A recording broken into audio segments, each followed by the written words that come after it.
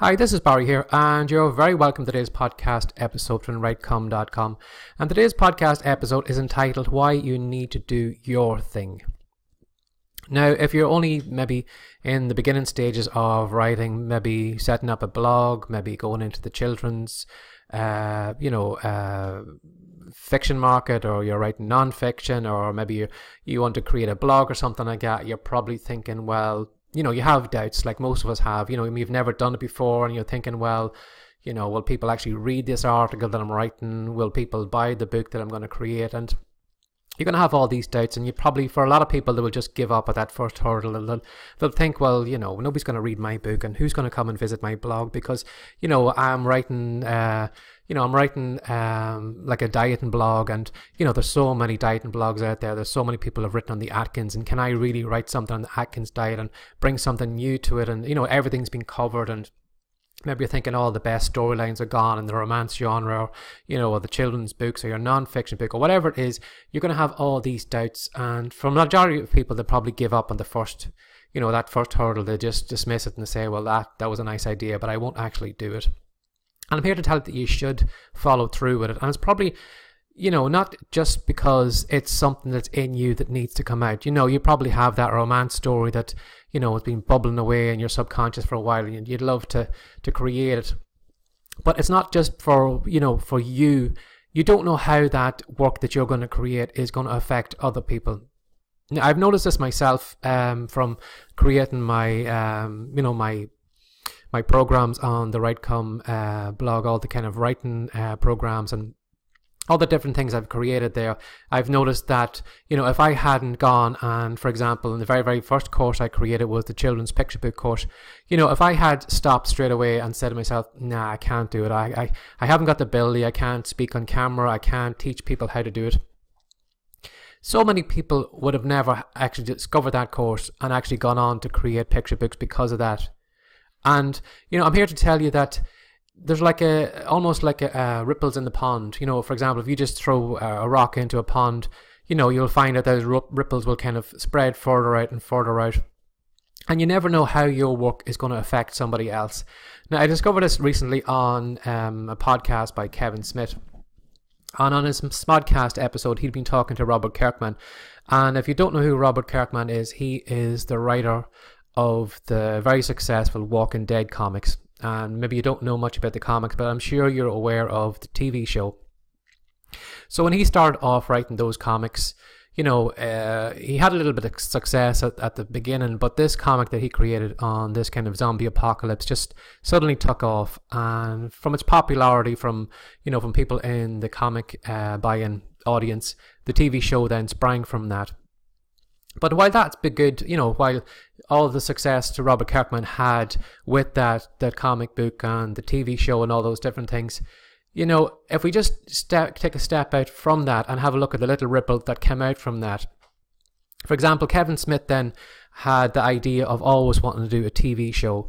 And, you know, he never thought, well, he, he had ideas, but he wasn't too sure how he could do it. But he always wanted to create some kind of some kind of show uh, around his friends because his friends he thought were, you know, they had there was a great banter going on between them, and he thought like the general public would like listening to them, you know, and and hearing all the funny stories and you know all the different things between it, and he thought that they were. You know, like most people do, they think that their friends are the best thing. And he said to himself, "Wow, I would love to have a TV show you know, uh, where people could see my friends and discover how funny they are, and you know all those different things that they, that they do. And came the idea that uh, somebody from AMC had come to him and said to him, you know, Kevin, we're interested in creating some kind of show that we can show after the Walking Dead TV show.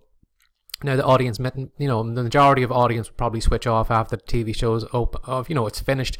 But we'd like something maybe that we could, you know, clip on to the back of it, maybe who would appeal to maybe people who were, um, how would you call it like um, nerds like comic book nerds or something along that line that people were interested in it and kevin was just thinking to himself and he says well he says you know i why don't we create maybe a tv show where you know where we have my friends and you know they work in they work in, in, a, in a comic book store and we could base the tv show on that and then from that idea then that TV show came about and they had the comic book men then and that was on AMC and it ran after the the Walking Dead TV show.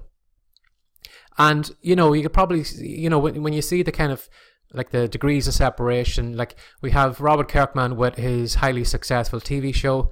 Then we have Kevin Smith then in kind of next ripple out from that, who you know wanted to get a t- create a TV show, didn't know how, but thanks to, to Robert Kirkman's successful, you know, the the zombie TV show. All of a sudden, it gave him an opportunity to, to you know, to, to clip on his TV show onto it, which was to which featured his friends.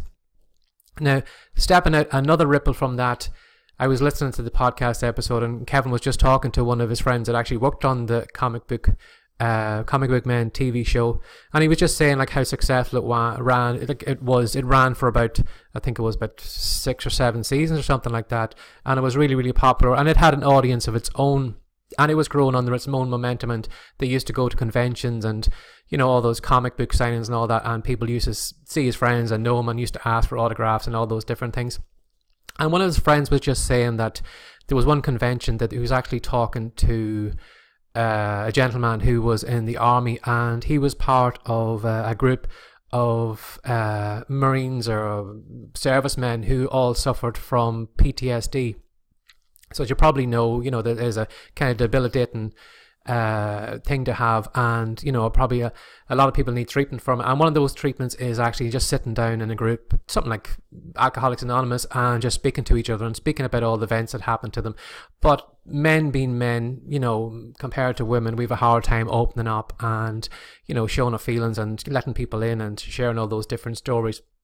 But what they found was that you know, a few of them were actually watching the Comic Book Men TV show and they thought, well, wow, that would be a great idea to, to bring it into our discussions.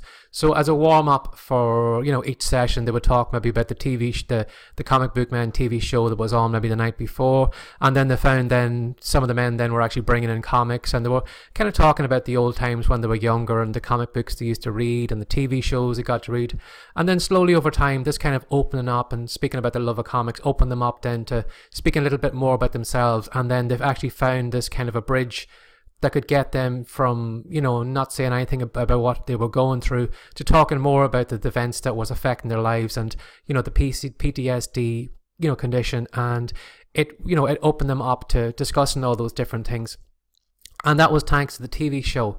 So, like, all of a sudden, we have Robert Kirkman who created a comic that became a really popular TV show. And then we have another ripple out from that. Then we have Kevin Smith and his friends having the opportunity to create that TV show because of Robert Kirkman's success. And then we can step out again then from the Comic Book Man TV show and how the, its success actually was, you know, uh, a great help for those servicemen who were suffering from PTSD. So, like, if you look at it, like, what if Robert Kirkman had never written that first comic? What if he just said himself, yeah, it's not really going to work, or not, never even tried the idea? You know, all those ripples then wouldn't be there. And it's going to be the same too for your work. You know, whatever fiction book you're going to write, non fiction book, you know, you're going to affect someone's life. For example, maybe in my children's picture book course, just say, for example, maybe I showed someone how to create a picture book and they became an author. And all of a sudden, this person then had a greater belief in them because they've done that vid- that video course. They've learned how to be an author. They've learned how to create a picture book, and they've put it up on the Kindle store. And all of a sudden, I've motivated that person. And then you never know what is going to happen from somebody else reading that particular person's book. You never know who's watching that person at home. Maybe it's a child watching a parent. You know, all of a sudden, maybe being stuck in a nine to five job, but now all of a sudden they have this opportunity and they're a published author, and it's opened up that child's mind then to what maybe they could achieve. And then, you know, you'd never know how those little ripples are going to affect all the people around you. But if you don't actually do that, you know, create the thing that you're going to create, that blog that's going to be read by all those people, maybe that fiction book that you're going to write, you know, just because it's been written so many times by other people. You know, you are coming to the marketplace with your own ideas. You're going to have a unique idea that's going to affect somebody, and then you don't know how the change you're going to make in different in someone's life. For example, maybe if you wrote a diet book and then all of a sudden you explain something to somebody, explain something to somebody maybe that they had, you know, had a hard time getting around, maybe particularly maybe counting calories or something like that, and you explained it in a better way. And then all of a sudden you've made a difference in that person's life. All of a sudden then they find that they've no problem losing weight and then you don't know how that's going to spiral, you know, how it's going to, uh, you know, to, to ripple out from that person then. How is it going to affect maybe their friends and all of a sudden maybe they, they get their health back and they can spend more time with the kids or whatever it is. So I'm just here to tell you, just like Robert Kirkman, you don't know how your little project that you are going to create is going to affect somebody else. And then you don't know how that uh, ripple effect is going to affect somebody else from that. So I'm here to tell you, whatever your idea is, you know, do it.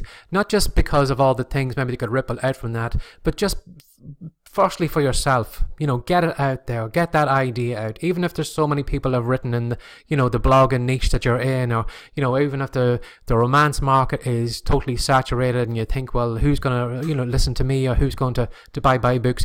Do your thing because you don't know how you're going to affect somebody else. But if you don't do that thing, you know, you're never. It's firstly, it's it's good for you, but you never know how it's going to affect somebody else. So whatever you are thinking of doing or doubting yourself that you can't do, just do it for yourself first. Because if you don't do it, you never know. All those people and all those different things are going to lose out because you didn't put your work out there. So I hope you enjoyed this podcast episode. I hope it motivated you maybe just to think beyond yourself because you know, sometimes we'll actually do more work for others than we do for ourselves.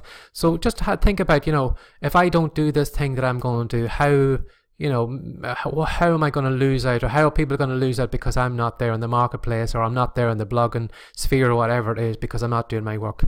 So, as always, thanks for sharing your time with me again today. I really, really appreciate it. And you know, if you want to share this blog post with uh, somebody else's, your own audience, or someone else's, I'd really, really appreciate just clicking on one of the social media uh, bookmarks, or just telling people about the WriteCome uh, blog and letting them know that it exists. So, again, thanks for sharing your time again today and take care and have a great day. Bye bye.